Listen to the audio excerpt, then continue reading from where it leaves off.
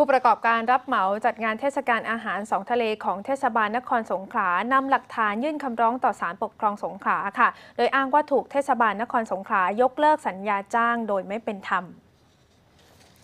นายธนาพงศ์รอดชูตัวแทนผู้ได้รับมอบอำนาจจากบริษัทลักกี้มิวสิกจำกัดมหาชน นำเอกสารหลักฐานเข้ายื่นฟ้องคดีที่ศาลปกครองสงขลาโดยยื่นฟ้องเทศบาลนครสงขลาในข้อหาละเว้นการปฏิบัติหน้าที่ ในกรณีบริษัทลักกี้ผู้ชนะการประมูลในการเสนอราคาการจัดงานโครงการเทศกาลอาหารสองทะเล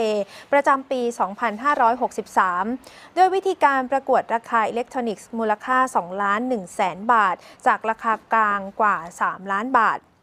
แต่ต่อมาได้มีประกาศยกเลิกอ้างว่าทำผิดเงื่อนไข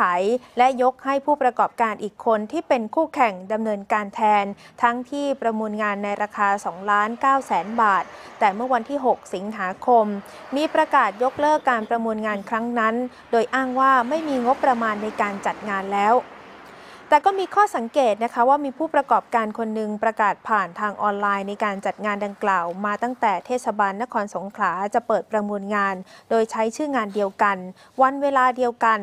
ศิลปินที่ร่วมงานก็เป็นคนเดียวกันทั้งหมดทำให้ต้องไปยื่นฟ้องต่อศาลปกครองสงขลาเพื่อขอความเป็นธรรม เนื่องจากบริษัทลักกี้เสียหาย จากการเตรียมงานไปแล้วหลายล้านบาท หลังจากชนะการประมูลงาน และอยู่ระหว่างรอทำสัญญา จึงต้องการให้เทศบาลนครสงงขลาชดใช้ความเสียหายที่เกิดขึ้น รวมถึงยกเลิกการจัดงานในปีนี้ เนื่องจากไม่มีความโปร่งใสค่ะ